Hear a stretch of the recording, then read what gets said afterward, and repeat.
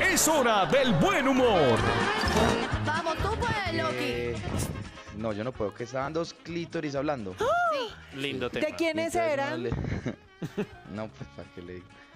El uno se- era de Dayana Medina y el otro Da- de Chindi Gómez. No, hombre.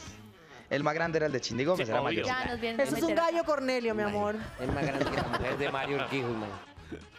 Y le dice el uno al otro, oiga, te, te nace esto del coronavirus, ¿no? ¿Usted qué ha hecho? ¿Qué medidas ha tomado? Yo, no, pues yo llevo varias semanas escondido y no me dejo saludar ni de beso ni de mano.